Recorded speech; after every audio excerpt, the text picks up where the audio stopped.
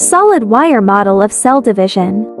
Get 4 solid wires, 2 long 1 green, 1 orange and 2 short 1 green, 1 orange. These would represent the chromatin in the cell. The wires of the same length are homologous. Orange wires will represent the chromatin from the female parent while green represents the chromatin from the male parent. Label the chromatin as follows. 1A for long green, 1B for long orange, 2C for short green, 2D for short orange. Mitosis, prophase.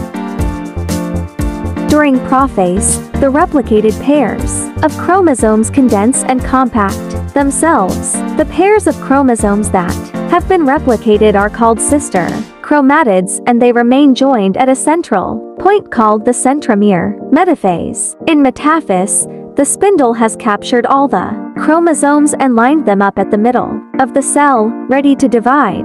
All the chromosomes align at the metaphase. Plate. At this stage, the two kinetochores of each chromosome should be attached to microtubules from opposite spindle poles. At this stage, the two kinetochores of each chromosome should be attached to microtubules from opposite spindle poles.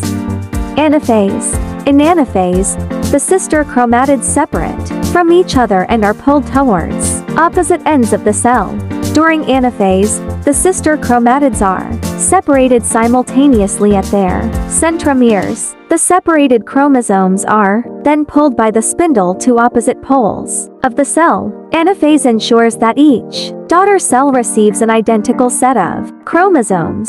Telophase during telophase, a nuclear membrane forms around each set of chromosomes to separate the nuclear DNA from the cytoplasm. The chromosomes begin to uncoil, which makes them diffuse and less compact. Along with telophase, the cell undergoes a separate process called cytokinesis that divides the cytoplasm of the parental cell into two daughter cells.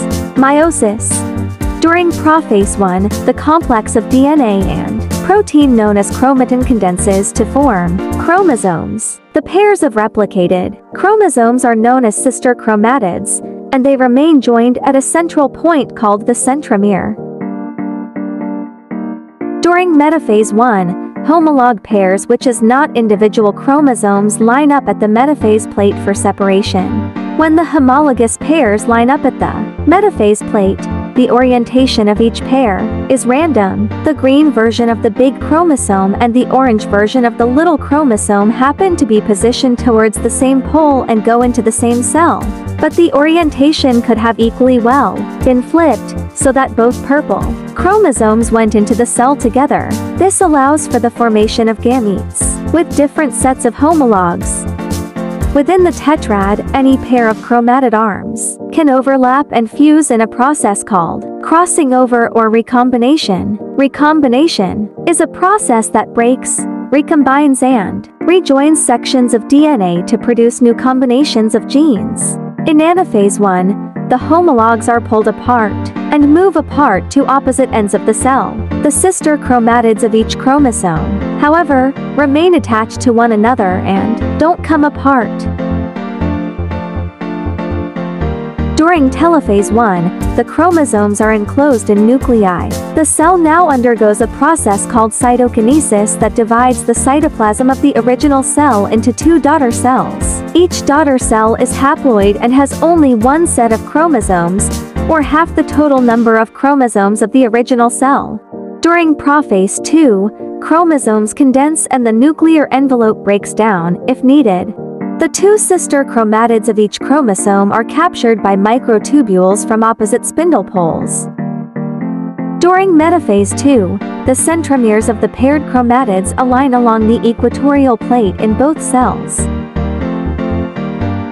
In anaphase II, the sister chromatids separate and are pulled towards opposite poles of the cell.